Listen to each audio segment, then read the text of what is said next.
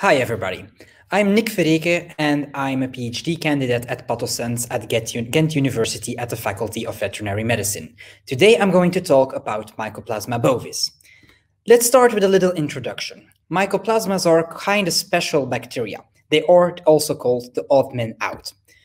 Let's start with a little characterization. Mycoplasma bovis is the primary agent of bovine respiratory disease in the bovine cattle industry. They are quite special as they have no cell wall. This confers them natural resistance to beta-lactams, which are targeting the cell wall. They also have a peculiar genome.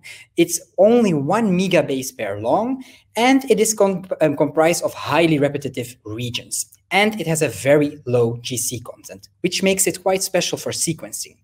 For veterinarians, there's no vaccination at place at the moment in Europe, and so they rely on antimicrobial resist, uh, antimicrobials as first line as an empirical treatment. Now, of course, they can't use any antimicrobial drug. They just use the guidelines provided by AMCRA in Belgium. On the first place, they can use florfenicol, followed by macrolides, tetracyclines, and at the end we have fluoroquinolones. They are flagged red because they can only be used upon a proper diagnostics. We have to establish an antimicrobial susceptibility testing. Now, let that be one of the big problems with Mycoplasma bovis.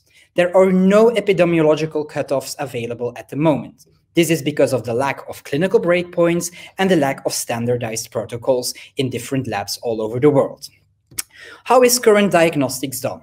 Majorly, they are culture dependent, taking up to two weeks before you can get one, species identification and antimicrobial susceptibility testing on the phenotypic level. Now, we can already get to species identification by using a molecular qPCR. However, if we want the phenotypic antimicrobial susceptibility testing, we need to wait way longer. So it's not done in a routine way nowadays.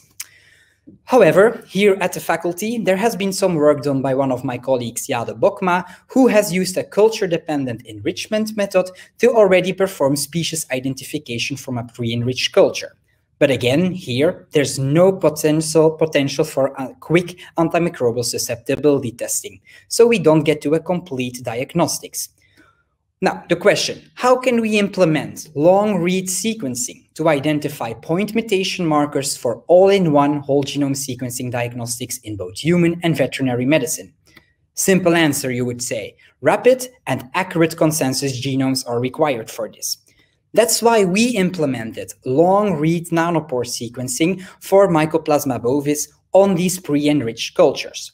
This does not only provide uh, species identification, but it also gives information on the strain. In addition, we can perform antimicrobial susceptibility testing on the genetic level. Now, we still have to confirm that the phenotypes and genotypes are in relation to each other. That's what we've done in this work. A little on the side, we want to improve with Pathosense the human and veterinary diagnostics in general. We want to revolutionize diagnostics. We want to offer a complete sampling to diagnostic and mycoplasma identification in the future. Based on the work we are doing at the moment, we want to supplement it with antimicrobial susceptibility testing on the genetic level. Let's go to the methodology. How have we started this work? We used 100 Mycoplasma bovis field strains from Belgian cattle collected over five years. They were identified using the MALDI-TOF method and the pre-enrichment of Mycoplasma bovis. Then phenotypic antimicrobial susceptibility testing was performed on the antibiotics shown here on the slide. We used a microbroth dilution for this to determine different MIC values for each strain. Then we performed whole genome sequencing using the MinION sequencer and a custom trained Bonito base caller model, followed by Canu and Medaka polishing.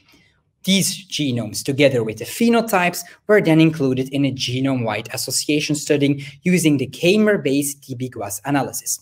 We used a k-mer of 31 base pairs long.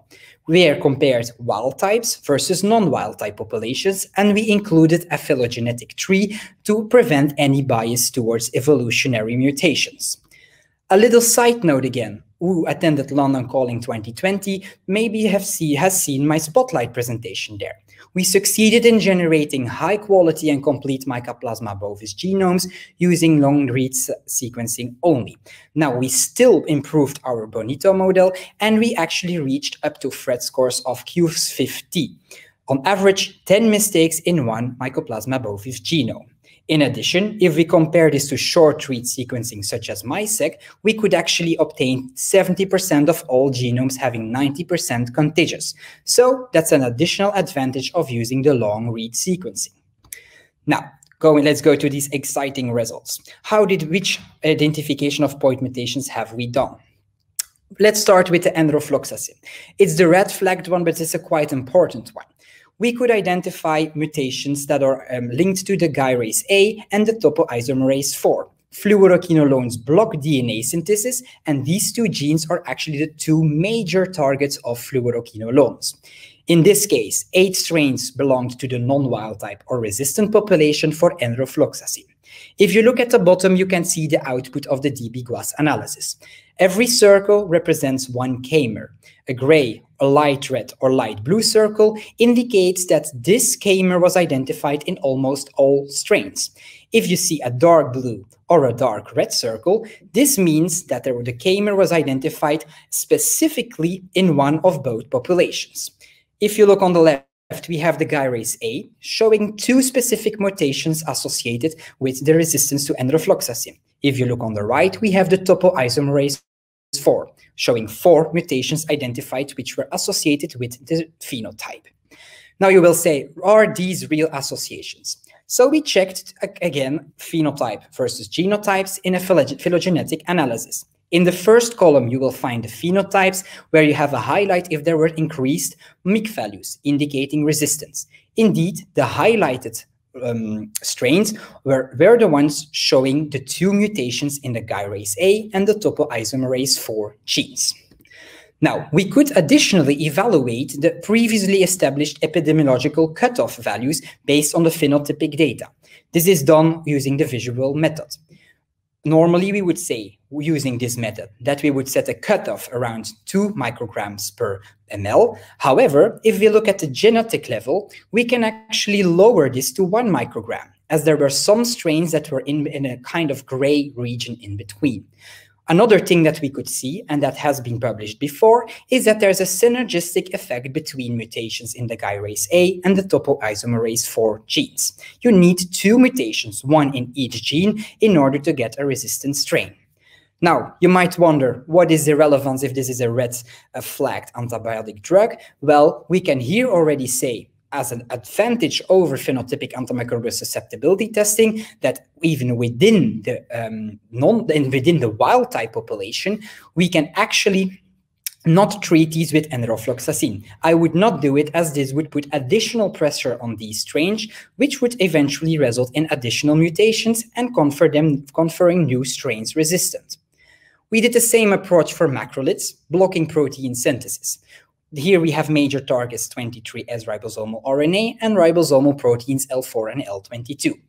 We tested gamithromycin, tylosin tartrate, and tilmicosin. For the first two ones, there was about 50% division of the wild type and non-wild type population. If we look on the right, you see the circle plot again, where we could identify the exact same figure for tylosin and gamithromycin. Indeed, these mutations were identified to be present within the 23S ribosomal RNA structure, localized on the exact spot where the macrolides are binding to the 23S ribosomal RNA. To continue further, we, see, we could see that there were some strains having double tylosin gamithromycin resistance. We could explain 86% of these strains based on the genetic data that we observed. We got double mutations because there's two different alleles of the 23 riboso S ribosomal RNA in mycoplasma. If it was present in both alleles, the mutation at position 2058, we got a double resistance if there was only one mutation present, but if there was also a mutation in the RPLV gene, as indicated on this picture, then we also got a double mutation in 86% of the strains. There was no clear association between the RPLD and the phenotype. So we also had some single tylosin or gamithromycin resistances, but there were no clear associations. We also included tilmicosin, which, where we only had one strain belonging to the wild type population. So all strains were actually resistant to tilmicosin, but we still looked if we could find the prototypic mutation that has been published before. Indeed, we identified that all strains had the mutation in both 23S ribosomal RNA um, alleles at the position 748. Now you might uh, wonder, how is it possible we can't explain everything here? There are still so many other potential mechanisms involved here, as it is a quite complex mechanism how antimicrobial resistance is happening. We can go to methylation, but there's also possible involvement of transcriptomic regulation. We still have covered some other antibiotic drugs, of which we use gentamicin. Gentamicin targets the 16S ribosomal RNA, we also again had only one strain, but here again we could identify two unique mutations that were only present in this strain that was showing higher MIC values for gentamicin, exactly at the position where the gentamicin is binding.